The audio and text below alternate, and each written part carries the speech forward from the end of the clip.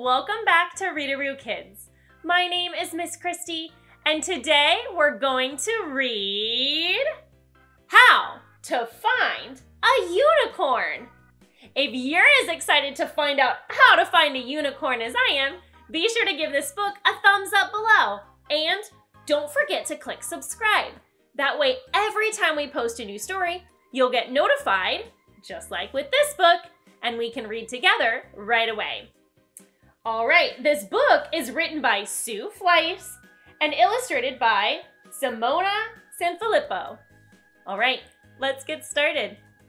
How to Find a Unicorn, written by Sue Fliess, illustrated by Simona Sanfilippo. There's an age-old tale that magic unicorns exist wandering where orchids grow within the mountain mist. Unicorns are secretive and very hard to find, but they can sense if you are friendly, welcoming, and kind. There's a way to meet this mystic creature of the wild, for unicorns may only be enchanted by a child. First, you'll need to build the gear a unicorn would wear. Choose the items from the woods with thoughtfulness and care. Craft for her a sturdy bridle made of daisy chains. Sugar cubes along the bit and ivy vines for reins. Weave a saddle made of ferns, the softest of the bunch. Gather apples, straw, and grass. She'll need a healthy lunch. Watch and listen for the signs. A distant shooting star. The gentle swishing of a tail. A whinny from afar. Look! Some hoof prints on the ground. Ahead, a single horn. Quiet. Do not make a sound. You found a unicorn.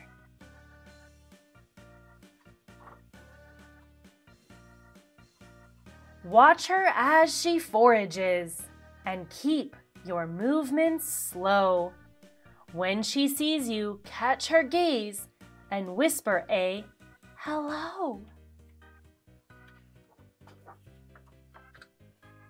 Standing very still, present the bridle you have made. She will understand there is no need to be afraid. She'll trot over, sniff, and neigh, then bend down by your side.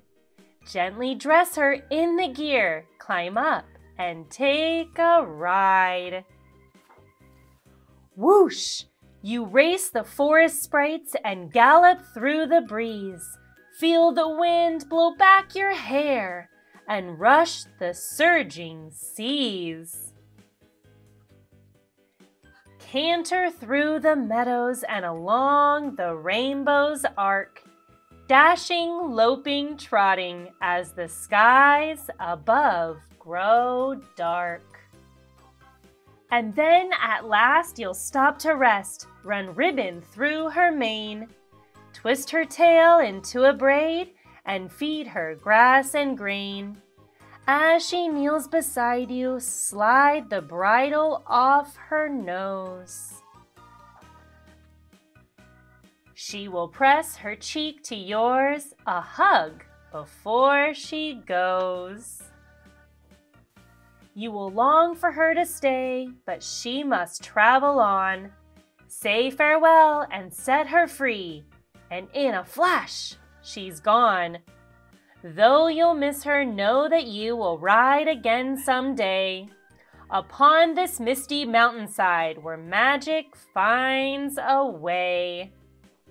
I loved reading with you today, and I hope that we can read together again soon.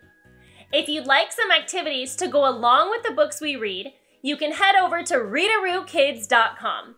There we do all kinds of fun activities, like science experiments, arts and crafts, scavenger hunts, and maybe some math. If you'd like to follow along on all of our social media, you can see what we're up to every day.